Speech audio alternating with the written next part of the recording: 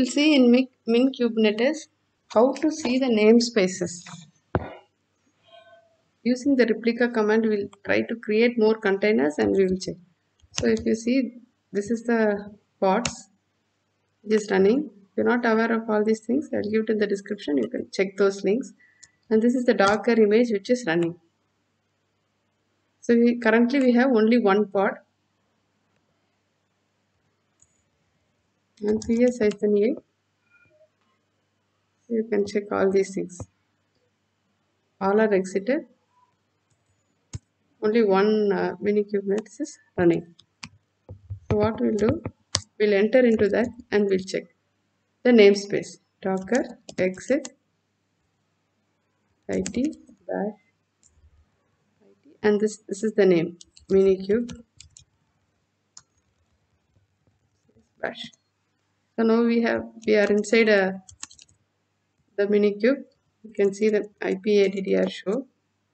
Sorry addr so these are all the actually if you see the namespace here is these are all the namespace. How to identify see let ns 1 0 1 2 3 4 so 1 2 3 4 5 It- actually it is 5 1 2 3 4 ah we can see that using ip net netns space list 5 sorry this is the command. So now we have 1 2 3 4 5 this is for basic pods. This is running. Next videos we will check the internals about this. Now we will just increase and decrease the replica and check whether namespace is increasing and decreasing. So for that if we have to open this file. So to see in detail how to get the deployment names extra there's a video already available. You can check that.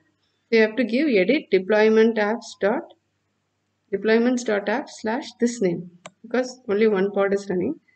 So now we'll go here go to the replica search for replica. So i'm just going to increase it by 2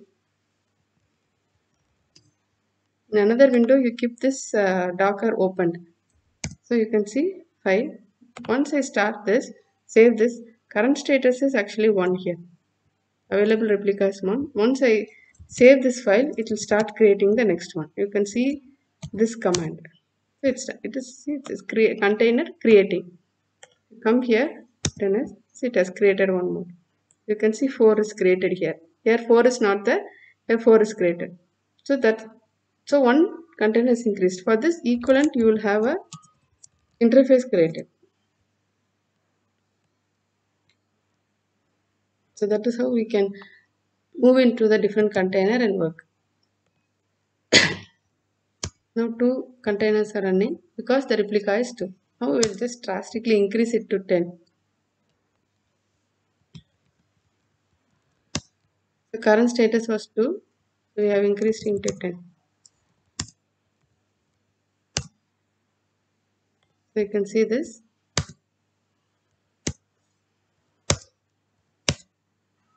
So it starts increasing. You can see that.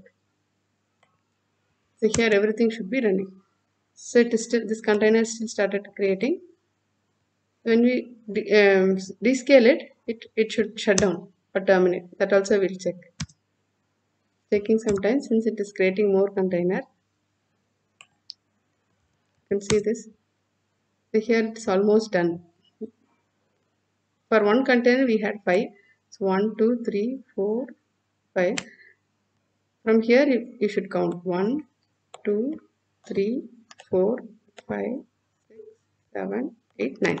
So 9 plus 1 so totally 10 so that is why we are having here 10 so you can use describe command to check whether we are scaling up or scaling down.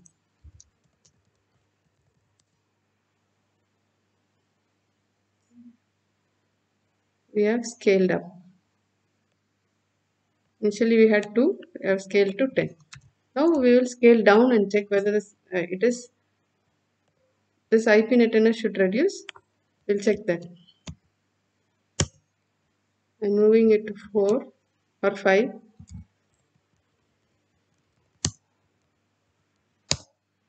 so you can see. It is terminating. Here also it should reduce. Almost done here. We are done.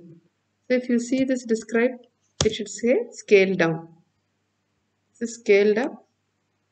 This is scaled down. So this is how you can relate the number of pods created